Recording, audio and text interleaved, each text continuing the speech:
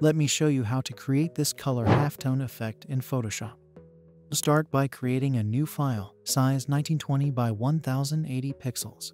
Drag your photo to Photoshop. Now go to Adjustment Layer and choose Solid Color. Pick the white color and then press OK. Reduce the opacity. Create a new layer. Choose the soft round brush.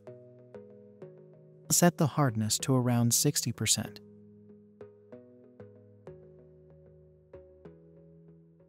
Set the opacity and flow to 100%. Choose the black color. Follow this process.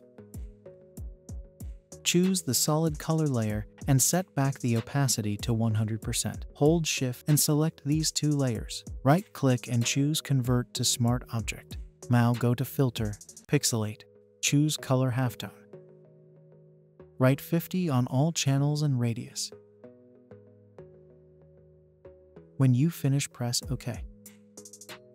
Change the blending mode to screen. That's it. Hope you liked it.